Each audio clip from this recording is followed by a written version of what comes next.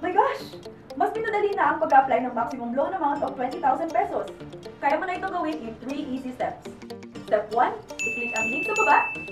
At step 2, i-enter ang iyong valid ID at mobile number. And step 3, ang maximum loan amount of 20,000 pesos ay mapapasayo na. Ang galing, di ba? Ganun lang kadali. Mababa na ang interest kaya talagang abot kaya. At pwede mong bayaran ng up to 3 months. Kung tight na ang budget mo, click mo na ang link sa baba para mangiram sa Lemon